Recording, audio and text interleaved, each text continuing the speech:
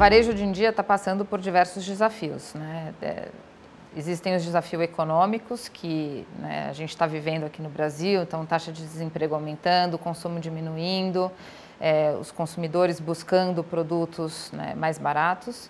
Tem também toda a parte de mudança do hábito do consumidor, ele se tornando mais digital e isso faz com que o varejo tenha que repensar as suas operações.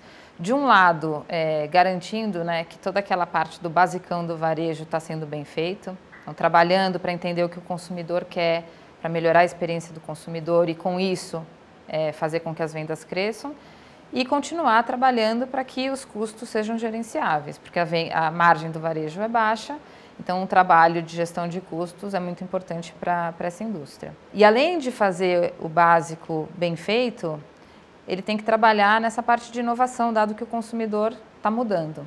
Então, toda a parte de omnichannel, que não é mais uma coisa do futuro, é uma coisa que está acontecendo agora, o consumidor já não vê os dois canais.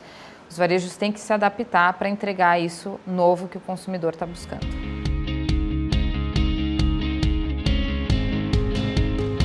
Uma transformação bem sucedida requer diversos elementos e eu acho que vou focar naquilo que eu acho que é o mais importante, que são pessoas. Sem as pessoas certas, nos lugares certos, com as motivações e os incentivos certos, a transformação não vai para frente.